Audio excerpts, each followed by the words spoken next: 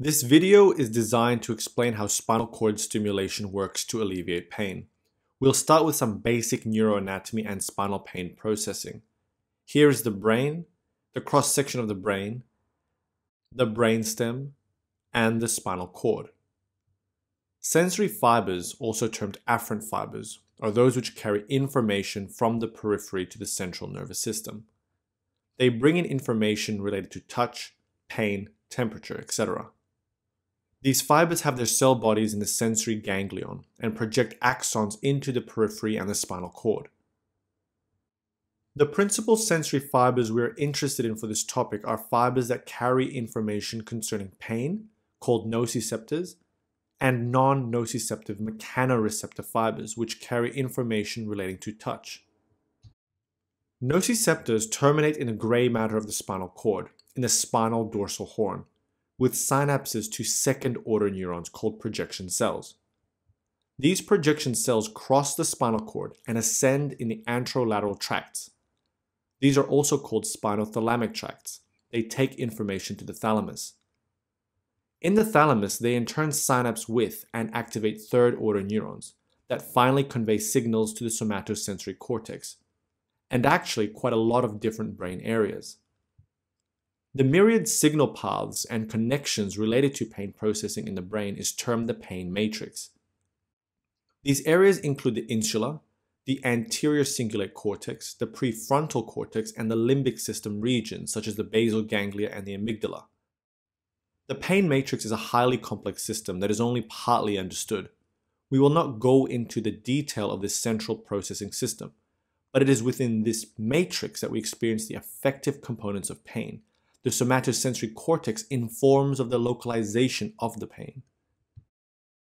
Mechanoreceptors also form synapses in the dorsal horn, but do not immediately terminate here. Instead, mechanoreceptor fibers enter the most posterior structures of the spinal cord, which are the white matter of the cuneate and gracile funiculi. These are collectively referred to as the dorsal columns and ascend towards the brain. The cuneate funiculus is only present in the cervical spinal cord. Funiculi is the plural of funiculus and means tract or column. Some, but not all of these ascend all the way to the medulla, where they terminate in the gracile or cuneate nuclei and synapse onto second order neurons that cross and travel on to the thalamus, triggering a third order neuron that finally will reach the somatosensory cortex, where we perceive the sensation. These fibers also send multiple projections from their main axon back down to the dorsal horn for several spinal segments from their point of entry as they travel. They get thinner as they ascend and move medially along their path. These mechanoreceptor fibers play an important role in the processing of pain in the spinal dorsal horn. The synaptic endings of these fibers connect to inhibitory interneurons, which they can activate. The activation of these inhibitory interneurons is known to suppress the activity of second order nociceptive projection neurons, such that they are less likely to fire in response to an incoming signal from the first order nociceptor if inhibitory interneurons are also active. The importance of this interaction is highlighted in conditions such as postherpetic neuralgia and painful diabetic neuropathy. In these conditions, mechanoreceptor, the sensory fibers, are also lost, which can result in a disinhibition in the dorsal horn and neuropathic pain. Inhibition of pain transmission in the dorsal horn is also affected by descending fibers from the brainstem, the spinal cord sits in an interstitial space filled with cerebrospinal fluid, or CSF, and beneath the arachnoid mater and dura mater. Spinal cord stimulation leads are implanted in the epidural space, posterior to the spinal cord. Current is passed through the lead at one or more of the contacts to create an electric field.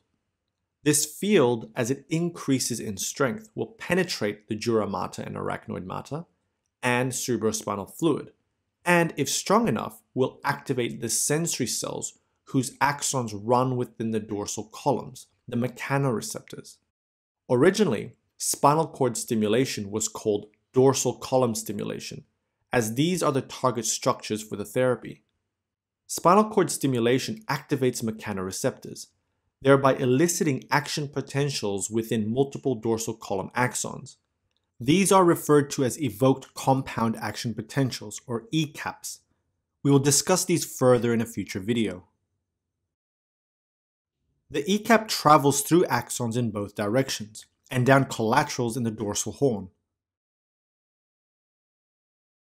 Activation of mechanoreceptors in the dorsal columns via spinal cord stimulation leads to activation of inhibitory interneurons in the spinal dorsal horn, who in turn suppress the activity of nociceptive projection cells to reduce the number of pain signals ascending to the brain.